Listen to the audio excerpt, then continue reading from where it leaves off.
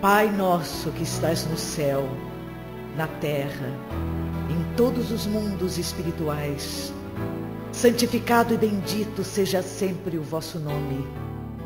Mesmo quando a dor e a desilusão ferirem nosso coração, bendito sejas.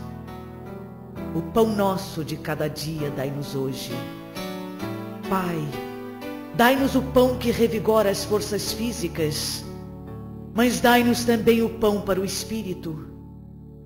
Perdoai as nossas dívidas, mas ensinai-nos antes a merecer o vosso perdão, perdoando aqueles que tripudiam sobre nossas dores, espezinham nossos corações e destroem nossas ilusões. Que possamos perdoá-los, não com os lábios, e sim com o coração. Afastai do nosso caminho todo sentimento contrário à caridade.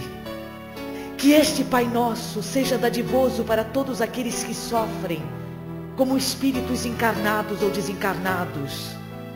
Que uma partícula deste Pai Nosso vá até os cárceres, onde alguns sofrem merecidamente, mas outros pelo erro judiciário.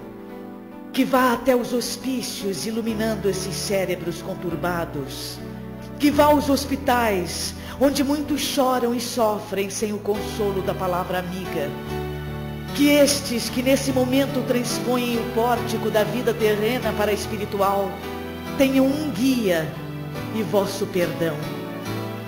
Que este Pai Nosso vá até os lupanares e erga estas pobres infelizes que ali foram tangidas pela fome, dando-lhes o apoio e a fé que vá até o seio da terra, onde o mineiro está exposto ao fogo do grisu, que ele, fim do dia, possa voltar ao seio de sua família.